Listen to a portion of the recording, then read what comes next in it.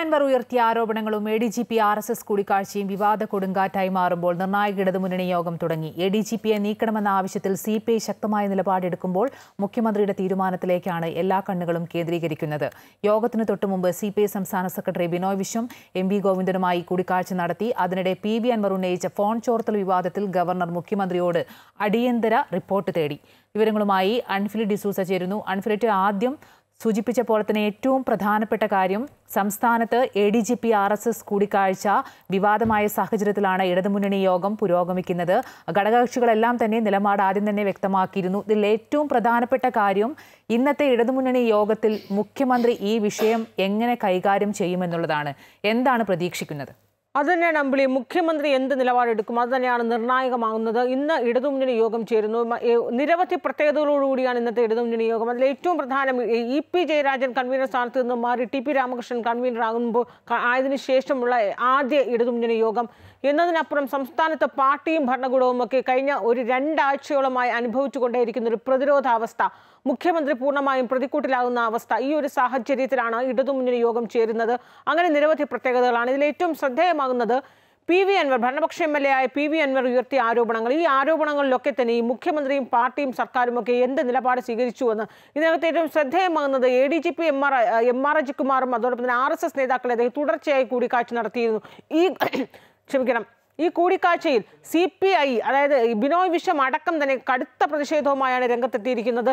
C P ഐയുടെ ദേശീയ നേതൃത്വം ഡി രാജ അടക്കമുള്ളവർ ഇതിൽ പരസ്യമായ പ്രതികരണവുമായി രംഗത്തെത്തിയിരിക്കുന്നു. ഒരു കാരണവശാലും ഒരു സംസ്ഥാനത്തിന്റെ സുപ്രധാന പദവി ഇരിക്കുന്ന ഐ പി എസ് ഉദ്യോഗസ്ഥന് ഒരു കാരണവശാലും ഒരു ആർ എസ് എസ് നേതാക്കളെ തുടർച്ചയായി കാണാൻ പാടില്ല. ഏത് സാഹചര്യത്തിലാണ് ഇത്തരത്തിലൊരു കൂടിക്കാഴ്ച ഉണ്ടായി?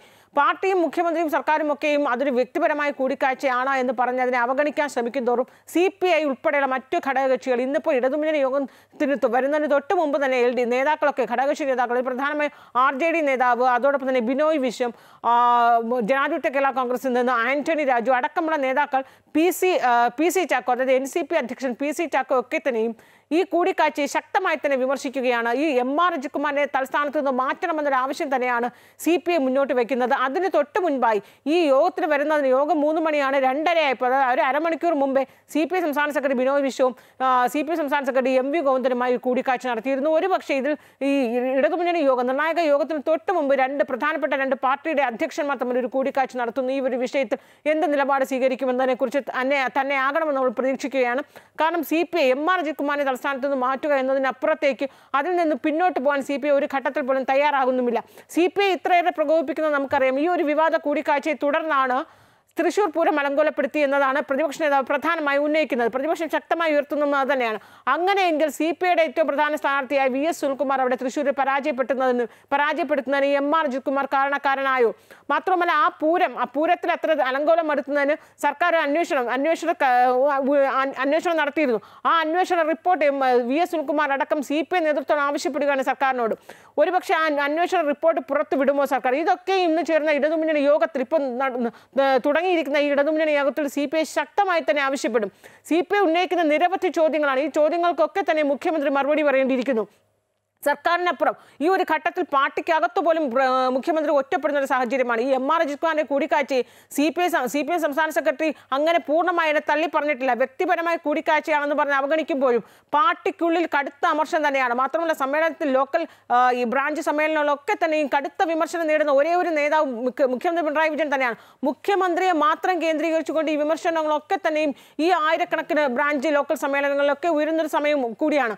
അതുകൊണ്ട് തന്നെ ഭരണതലത്തിൽ സൂചിപ്പിച്ച പോലെ തന്നെ ഈ വിവാദങ്ങൾക്കും സർക്കാരിനെയും അതുപോലെ തന്നെ പാർട്ടിയെയും എല്ലാം പ്രതിരോധത്തിലാക്കി തുടക്കമിട്ടത് ഭരണപക്ഷത്തെ എം എൽ എ ആയ പി വി അൻവറാണ്. പി വി അൻവർ ഉന്നയിച്ച ഫോൺ ചോർത്തൽ വിവാദത്തിൽ നിന്നാണ് ഈ വിവാദങ്ങൾക്കെല്ലാം തുടക്കമാകുന്നത്. ഈ വിവാദത്തിൽ ഗവർണർ മുഖ്യമന്ത്രിയോട് അടിയന്തര റിപ്പോർട്ട് തേടിയ ഒരു സാഹചര്യമുണ്ടായി. ഗുരുതര സാഹചര്യമാണ് അത്. അതിനുള്ള മറുപടി മുഖ്യമന്ത്രി നൽകണമെന്ന് രാജ്ഭവൻ ഇടപെടുമ്പോൾ പി വി അൻവറിന്റെ ആരോപണം സർക്കാരിനെതിരെ ആയുധമാക്കുകയാണോ ഗവർണറും അതുപോലെ രാജ്ഭവനും?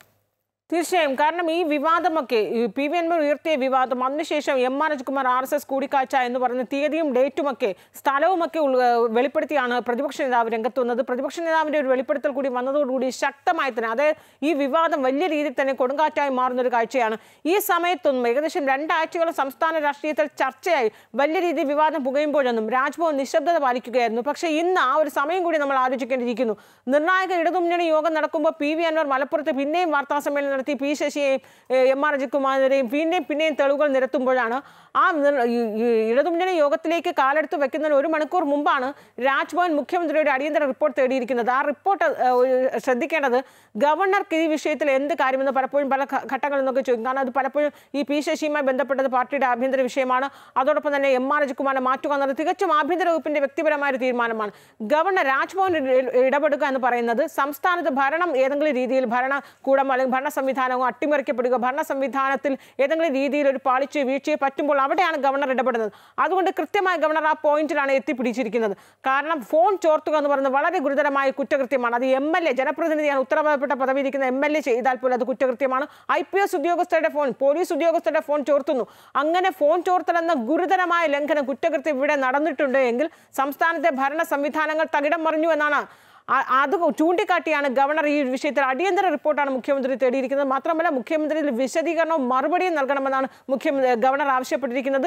തീർച്ചയായും ഈ വിഷയത്തിൽ പാർട്ടിക്കകത്ത് പോലും വിശദീകരണം നൽകാൻ പാടുപെടുന്ന മുഖ്യമന്ത്രി ഗവർണർക്ക് അല്ലെങ്കിൽ രാജ്ഭവനിൽ ഇനി എന്ത് വിശദീകരണമാണ് നൽകുക എന്നതും കാത്തിരുന്ന് കാണേണ്ടതാണ്. ശരി പി വി അൻവർ ഉയർത്തിയ ആരോപണങ്ങളും A D G P R S S കൂടിക്കാഴ്ചയും വിവാദ കൊടുങ്കാറ്റായി മാറിയ സാഹചര്യത്തിൽ നിർണായക ഇടതുമുന്നണി യോഗം തിരുവനന്തപുരത്ത് പുരോഗമിക്കുകയാണ്. എ ഡി ജി പിയെ നീക്കണമെന്ന ആവശ്യത്തിൽ സി പി ഐ ശക്തമായ നിലപാടെടുക്കുമ്പോൾ മുഖ്യമന്ത്രി എന്ത് തീരുമാനമെടുക്കുമെന്നാണ് എല്ലാവരും ഉറ്റുനോക്കുന്നത്. A D G P M R Ajith കുമാറിനെ മാറ്റുമോ അല്ലെങ്കിൽ ഏത് രീതിയിലായിരിക്കും അതിനെ പ്രതിരോധിക്കുക എന്ന് തന്നെയാണ് രാഷ്ട്രീയ കേരളം ഉറ്റുനോക്കുന്നത്. യോഗത്തിന് തൊട്ടു മുമ്പ് സി പി ഐ സംസ്ഥാന സെക്രട്ടറി ബിനോയ് വിശ്വം അതുപോലെ തന്നെ മറ്റ് ഘടകകക്ഷി നേതാക്കളെല്ലാം തന്നെ തങ്ങളുടെ നിലപാട് വ്യക്തമാക്കിയിരുന്നു. ബിനോയ് വിശ്വം എം വി ഗോവിന്ദനുമായി കൂടിക്കാഴ്ച നടത്തി. ഒപ്പം തന്നെ പി വി അൻവർ ഉന്നയിച്ച ആരോപണത്തിൽ ഫോൺ ചോർത്തൽ വിവാദത്തിൽ ഗവർണർ മുഖ്യമന്ത്രിയോട് അടിയന്തര റിപ്പോർട്ട് തേടുന്ന സാഹചര്യവും ഉണ്ടായി വിശദാംശങ്ങൾ നൽകുകയായിരുന്നു ആൻഫിൽ ഡിസൂസ